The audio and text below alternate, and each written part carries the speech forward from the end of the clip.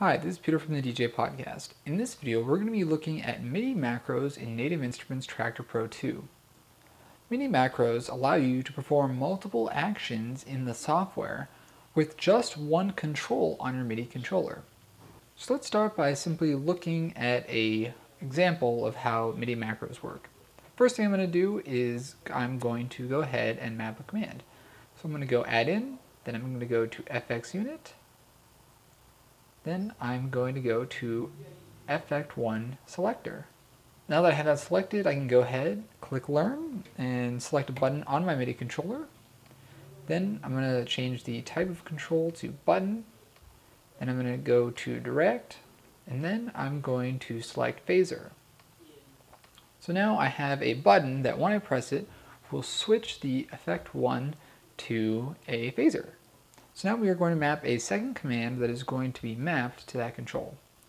So I'm going to go to add in, then I'm going to go to mixer, then I'm going to go FX unit 1 on. I'm going to once again select that same button, click learn, then I'm going to set the button type to toggle and the assignment to deck A. Now that I've mapped the second command to the same control, you'll notice that the other commands that are also mapped to that control are highlighted in yellow. As you can see, FX Unit 1 and Effect Selector 1 share the same control and therefore are highlighted together. So now let's look at how that button actually interacts with the software. I should point out that these things happen at the exact same time, so it's not as if there's lag between one and the other. So when I press the button, it's going to do two things. First, it's going to set the effect unit 1 to the type of phaser. Then it's also going to turn FX unit 1 on for deck A. So I'm going to go ahead and press the button on my MIDI controller and you can see that both occur at the exact same time. So now let's look at a real world example. If you're like me, you probably import a lot of tracks into Traktor at the same time. And if you're prepping a large number of tracks, you can actually set up a few macros to help make the process easier. If you've seen my video on how I use cue points, you'll see that on every single track I have at least four cue points and they're all put in the same cue point schema. You can actually save time when doing this by using some macros. So I'm going to go ahead and create one of the macros that I like to use. So let's start by adding our first control. So I'm going to go to add in, then I'm going to go to track deck, cue, and then I'm going to select set and store plus store hot cue. I'm going to press the learn command, press a button on my MIDI controller. Then I'm going to change the type of controller from fader knob to button. Then I'm going to set the value to hot cue 7.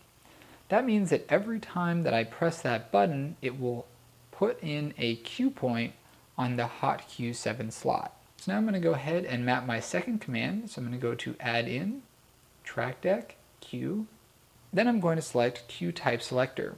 This particular command will allow me to choose what type of cue point I have mapped to that particular hot cue slot. So once again, I'm going to press the Learn button, then I'm going to select that same button on my MIDI controller.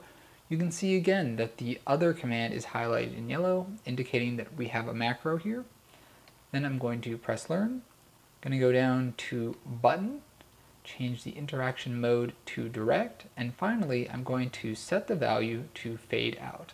So now what I've just set up is one button that will both set a cue point and save it to hot cue number 7.